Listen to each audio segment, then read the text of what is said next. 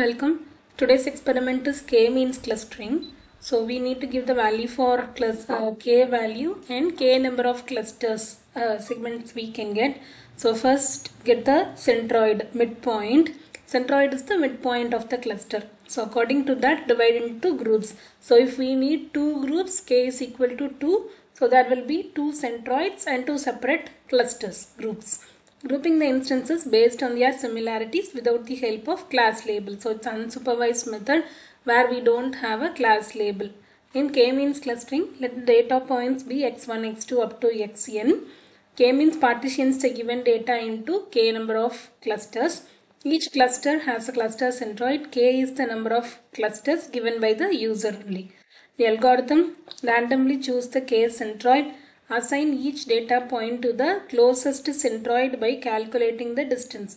So for example, we have all the data points here divided into uh, two, uh, uh, assign two centroids. So randomly we will have a centroid somewhere here and somewhere here and each data point uh, gets joined as, uh, gets uh, joined with any one of the cluster based on the distance. Any distance can be used. Here we use Manhattan distance uh, distance formula is x mod x i1 minus xji whole plus mod x i2 minus mod minus xj2. Uh, so recompute the centroid values in step 4. If convergence criterion is not met, go to step 2.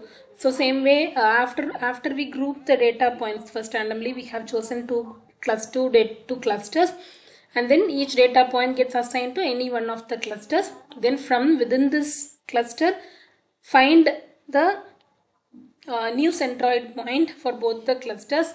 Again recompute the distance and this continues till the stopping criterion is met. Stopping criterion is the centroid point should not change. There should be very minimum or no reassignment of data points to the clusters. So that is the stopping criterion. After that the cl clustering work is done.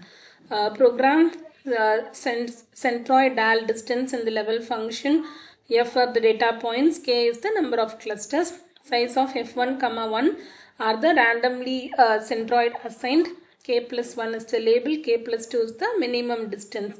For i equal to 1 to this one randomly assigned clusters. Dal find the distance value and recompute the clusters. We go for the scilab program. So we have the uh, k means function here. The inputs are f k and kmi First compute the cluster centroids. Centroid is f of ceil and rand k comma 1 into size of f comma 1. Uh, rand is generating random numbers. Ceiling is rounding it off. Dal equal to zeros of the number of data points.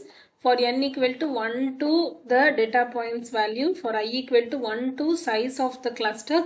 For j equal to 1 to k, the distance value is norm of f minus cents. Manhattan distance is used and the distance actual distance is the minimum DAL value. Uh, DAL of i comma k plus 1 is the uh, k plus 1 is the cluster label k plus 2 is the minimum distance. For i equal to 1 to k uh, nc equal to find is nonsense.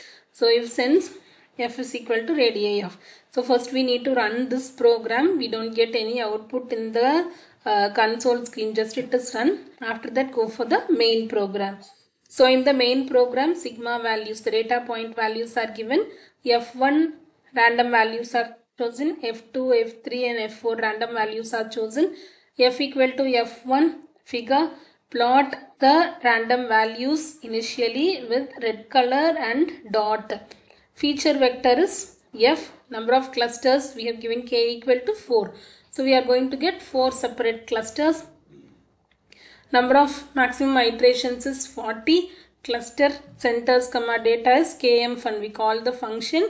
And the input values are the input feature vector number of clusters in this example 4 and number of iterations in this example it is 40 and display the cluster centers in the console screen and then plot the values of the feature vectors in different colors. So to uh, here auto clear off off off uh, here first first cluster with B and uh, round R and round green and round yellow and round so we're going to get four separate clusters and plot all that so when we run the program uh, these are the initial random data points and these black ones are the centroids and we get four separate clusters based on distance metric.